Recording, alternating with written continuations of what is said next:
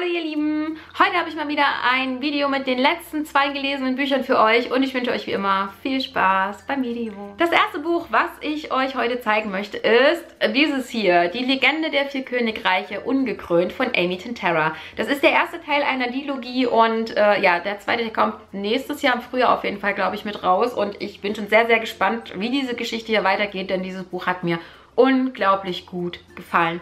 Ich fand den Schreibstil toll, ich fand die Geschichte toll, ich fand die Charaktere toll. Ich fand dieses ganze Buch einfach rundum richtig, richtig gut. Es hatte hier und da so ein, zwei kleine Schwächen, die mich ein bisschen gestört haben beim Lesen, aber das war jetzt nichts Dramatisches. Deswegen habe ich dem Ganzen auch noch 5 Sterne gegeben auf Goodreads, denn es war eine richtig, richtig, richtig gute Geschichte. In diesem Buch geht es um M und M's Königreich liegt in Schutt und Asche. Der Herrscher von Lera hat ihr Königreich Ruina komplett zerstört und ihr Volk quasi zur Ausrottung getrieben. Denn das Volk von M hat magische Fähigkeiten und der König von Lera hat Angst, mehr oder weniger vor diesem Volk gehabt, dass sie ihn irgendwann mal angreifen, weil dann wäre er ziemlich am Arsch gewesen, auf gut Deutsch. Denn wie gesagt, sie haben besondere Fähigkeiten und können verschiedene Dinge bewirken und äh, deswegen hat er dieses Volk einfach mal kurzerhand abgeschlachtet, umgebracht, die Königin ermordet, den König ermordet und die Thronerbin entführt. In dieser Geschichte geht es aber eigentlich um M und M ist die eigentliche Thronerbin von Ruina. Da sie aber keine besonderen Fähigkeiten hat, wäre sie niemals zur Königin gekrönt worden, sondern ihre Schwester Olivia. Und Olivia, wie gesagt, wurde von dem König von Lera entführt und gefangen genommen. Und nun versucht M einige Jahre später ihre Schwester zu befreien und zurückzuholen. Und dafür hat sie einen heimtückischen Plan geschmiedet und zwar möchte sie die Verlobte des Prinzen umbringen und deren Stelle Stelle einnehmen, um sich an den Hof einzuschleichen. Und Plan von M sieht vor, dass die komplette königliche Familie von Lehrer ausgelöscht wird und das Königreich von ihr und ihrem Königreich, was ihr zur Seite steht und ihr hilft, unterworfen wird und äh, sie quasi Rache nehmen kann und ihr Volk retten und beschützen kann. Und ob dieser Plan gelingt und was da halt noch alles passiert, das ist es, worum es im ersten Teil, die Legende der vier Königreiche ungekrönt, geht. Ich muss sagen, dass ich von diesem Buch etwas völlig anderes erwartet hätte, wie das, was es gewesen ist und das meine ich im positiven Sinn. Ähm, ich mag High-Fantasy-Geschichten total und ich mag High-Fantasy-Geschichten, die eine Liebesgeschichte haben, die auch gerne mal ein bisschen weiter im Vordergrund stehen darf und äh, so war es bei diesem Buch und das hat mir richtig, richtig gut gefallen. Ihr wisst, ich mag kitschige Jugendbücher, ich mag Stereotypen in Jugendbüchern bis zu einem gewissen Grad und ich mag es halt auch, wenn die Handlung so ein bisschen stereotypisch auch ist. Also ich habe damit keine Probleme und das sind jetzt keine Sachen, die ich jetzt persönlich immer so zu kritisieren habe, denn jedes Buch ist irgendwie wie das andere, also High Fantasy ist nur mal High Fantasy und in den meisten Büchern geht es nur mal um Prinzessinnen oder Prinzen. Und in der Dystopie geht es auch immer um irgendwelche Kulturen, die untergehen, deswegen finde ich sowas immer schwachsinnig, dass man immer sagt, ja, das ist ja wie das und das. Ja, es ist natürlich wie das und das von der Art her, denn es ist das gleiche Genre meine Fresse, was regt ihr euch immer alle so auf? Ähm, ja, darum soll es aber heute gar nicht gehen. Also wie gesagt, ich fand das Buch richtig gut. Ich mochte die Handlung total. Ich mochte es, dass die Liebesgeschichte hier ziemlich weit im Vordergrund stand. Ich fand den Verlauf der Geschichte richtig gut und ich fand das Ende vor allem richtig spannend. Ich bin jetzt so gespannt, wie es weitergeht im zweiten Teil, denn das Ende war jetzt kein, denn das Ende hat jetzt keinen direkten fiesen Cliffhanger, nur so ein bisschen vielleicht. Aber man ist einfach gespannt, wie das Ganze jetzt weitergeht durch die Entwicklung, die am Ende gerade nochmal passiert sind und ähm, es war einfach, das Ende war einfach so, was? Was hat die getan? Oh mein Gott. Und dann war das Buch vorbei und du denkst dir so, super. Und nun, ja, also ich möchte den zweiten Teil auf jeden Fall lesen, denn wie gesagt, dieses Ende war absolut spannend und richtig, richtig gut. Wir können jetzt nicht spielen. Wir wollen doch eben extra nochmal beispielen draußen, bevor ich angefangen habe zu drehen. Hm? Ich habe extra nochmal mit dir beigespielt. Und nichts hat's gebracht. Du springst trotzdem hier rum. Was machst du? Oh mein Gott, dieser Hund.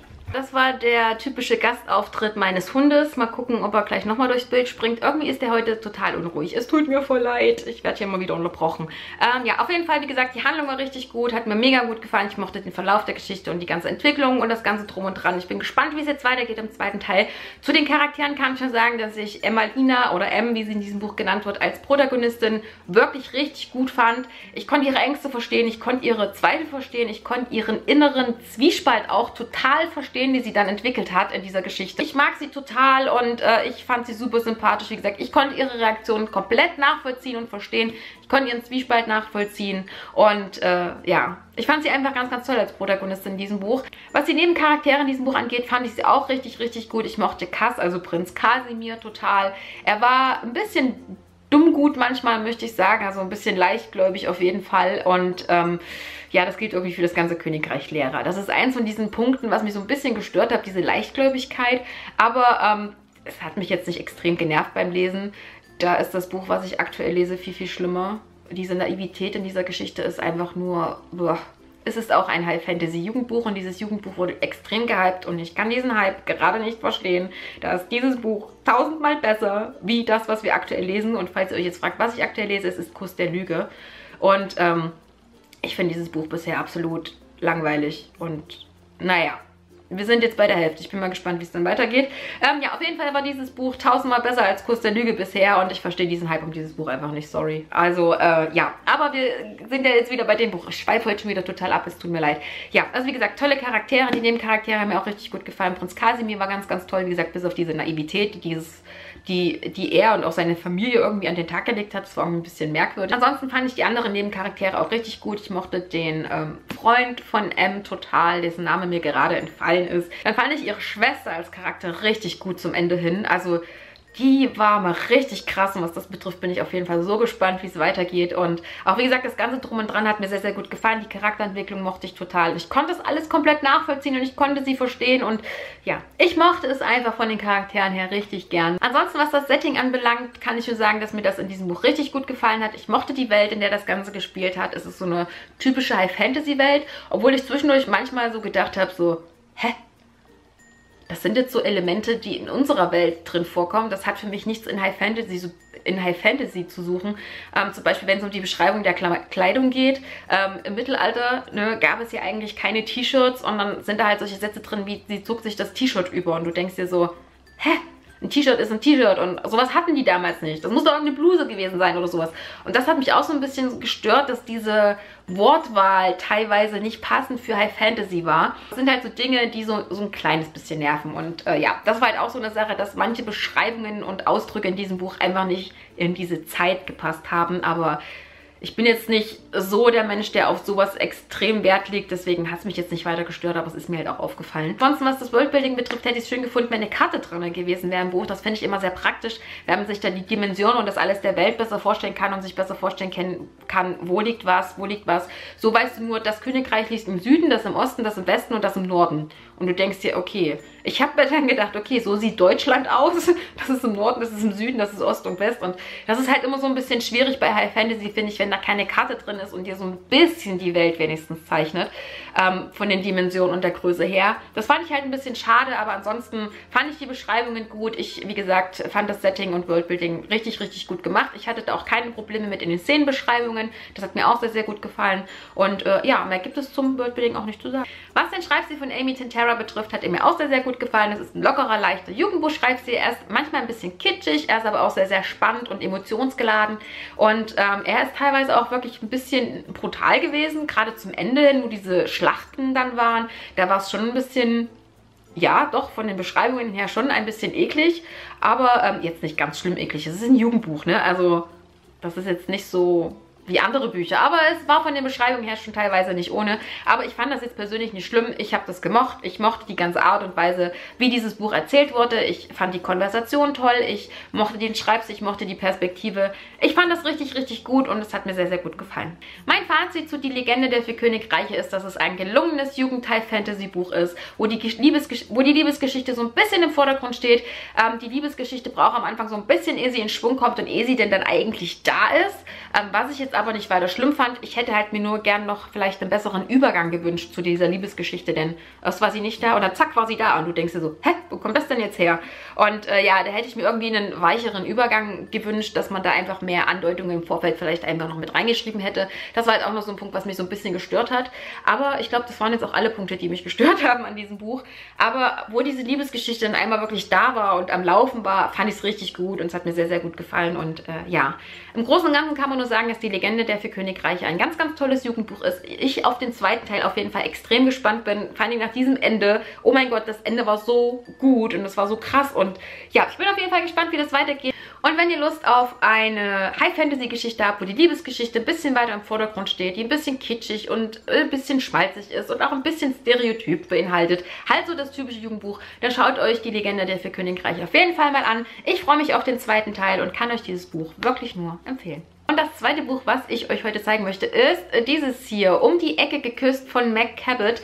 Ich durfte mir dieses Buch beim HarperCollins Verlag äh, zum Bloggertreffen aussuchen und mitnehmen. Und ich fand, das klang einfach ganz, ganz süß und ganz, ganz toll. Und ich hätte einfach mal genauer hinten lesen sollen über die Art und Weise, wie dieses Buch geschrieben wurde. Denn das war absolut nicht so meins.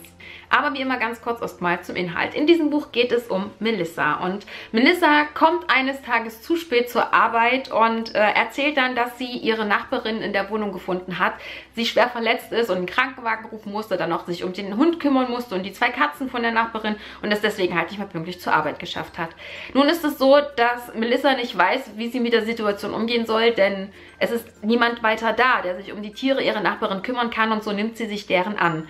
Und so versucht Melissa den einzig noch lebenden Verwandten ausfindig zu machen von ihrer Nachbarin und äh, der hat aber eigentlich gerade nicht so wirklich Bock auf sie und ähm, sagt dann aber zu ihr, dass er kommt und sich um die Tiere kümmert und schickt aber seinen Kumpel vor. Und als die beiden dann aufeinandertreffen, stellen sie dann sehr, sehr schnell fest, dass da irgendwie mehr ist zwischen ihnen. Und das Problem an der ganzen Sache ist, dass sich John natürlich als jemand ganz anderes ausgegeben hat, wie er denn eigentlich ist. Denn er ist ja gar nicht der Verwandte der Nachbarin. Und äh, wie soll er das Melissa denn alles nur erklären? Und am Ende steht die Frage, wird sie hinter dieses Geheimnis kommen? Und wenn ja, wie geht sie damit um? Und ich muss sagen, dass das Buch einfach vom Inhalt her ultra spannend klang. Ich meine, da kommen Tiere drin vor und es ist eine Liebesgeschichte und ich fand einfach, es hat sich sehr, sehr süß angehört und ich muss auch sagen, dass die Geschichte eigentlich wenn es eine normale Geschichte wäre, wirklich mir hundertprozentig gefallen hätte in ihrer ganzen Art und Weise. Aber, und jetzt kommen wir zu dem großen Problem an diesem Buch, dieses ganze Buch besteht aus E-Mails. Man erfährt die komplette Geschichte nur aus dem E-Mail-Verkehr, den die sich hin und her schreiben. Und äh, ja, das ist ein ganz schön arges Problem, denn wie gesagt, man erfährt das alles nur durch diese E-Mails, die, die alle sich untereinander schreiben, die ganzen Charaktere, die in diesem Buch drin vorkommen. Und das macht es teilweise wirklich sehr, sehr schwer, das Ganze auch erstmal nachzuvollziehen, weil man natürlich immer wieder gucken muss, wer schreibt jetzt hier gerade wem. Und ähm, da hatte ich auch echt richtig Probleme, in die Geschichte reinzukommen. Aber so richtig. Ich habe echt nach 50 Seiten gedacht, boah, ich schmeiß das Buch in die Ecke, weil ich keinen Bock mehr hatte. Und dann habe ich mir aber gedacht, nein, komm, zieh das jetzt durch, du liest jetzt weiter. Und ich sag mal, ich war so bei der Hälfte, da habe ich dann gemerkt, okay, ich habe mich dran gewöhnt ähm, an, diesen, an diese ganze Art und Weise. Aber es war natürlich erstmal sehr, sehr holprig und sehr, sehr schwierig da reinzukommen. Wo ich es dann hatte, ging es. Ich habe dieses Buch auch an einem Nachmittag gelesen. Ähm, auch wenn es recht dick ist durch diesen ganzen E-Mail-Verkehr und diese ganzen leeren Absätze dazwischen drin und teilweise alles in Großbuchstaben, kommt man einfach wahnsinnig schnell durch dieses Buch. Und wie gesagt, ich fand die Handlung im Großen und Ganzen eigentlich richtig cool. Ich mochte die Charaktere, auch wenn ich halt das Problem hatte, dass ich mir die Charaktere weder vorstellen konnte, noch dass ich mir ein richtiges Bild von den Charakteren machen konnte, weil die waren einfach alle nicht greifbar. Die waren halt alle, dadurch, dass man die nur aus diesem E-Mail-Verkehr her kennt, irgendwie alle nur so halb da. Wisst ihr, was ich meine? Also das ist, ist ziemlich schwierig zu beschreiben. Aber ich habe halt keine Beziehung zu den Charakteren in dem Moment aufbauen können. Weder zu Melissa, noch zu John, noch zu irgendeinem anderen Charakter. Und das war ein richtig großes Problem in diesem Buch. Ja, aber ansonsten mochte ich die Charaktere eigentlich im Großen und Ganzen. Ähm, was das Setting betrifft, dieses Buch spielt in New York, was ja eins meiner absoluten Lieblingssettings ist, wie ihr wisst. Und ähm, ich hatte mit dem Setting keine Probleme weiter, weil ich natürlich zum einen weiß, wie New York aussieht und zum anderen habe ich schon keine Ahnung, wie viele Bücher gelesen, wo New York als Setting hergehalten hat. Deswegen habe ich da natürlich schon meine bestimmten Sachen im Kopf. Aber es ist halt trotzdem immer ein bisschen schwierig gewesen, da reinzukommen in diese ganzen Szenen und diese ganzen Erzählungen, weil das halt wirklich alles E-Mails sind, wo man die Geschichte einfach nur erzählt bekommt. Und das war halt echt schade. Ansonsten, was den Schreibstil von McCabbott angeht, wenn das eine richtige Geschichte gewesen wäre, wäre der richtig gut gewesen. Er wäre witzig gewesen, charmant, spannend auch.